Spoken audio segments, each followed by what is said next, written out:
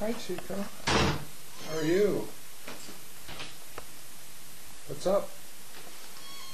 How was your day? And what else did you do? And did you like chase your tail for a bit? And you ate? And did you miss me? And you happy I'm home? What can I do for you now? Okay. Yeah. Good cat.